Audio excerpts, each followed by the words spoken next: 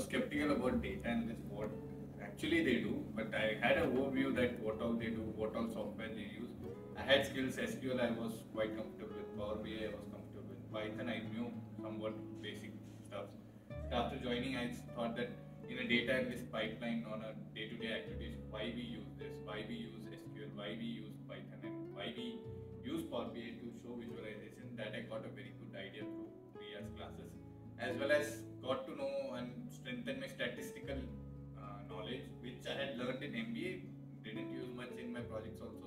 Just added my name in the project, so didn't do much. So that statistical concepts were very good. And in interviews also, when I'm attending few interviews, whatever important questions were shared by her, they are asking.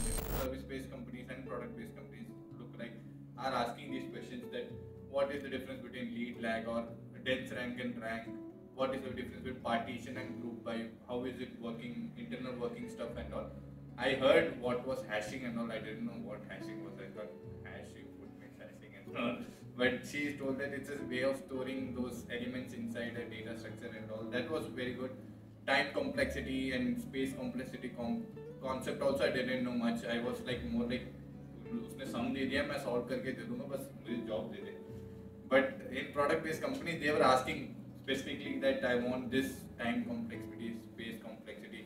So I could explore on my own, learning those concepts. So it was all good, um, very well covered. Yeah,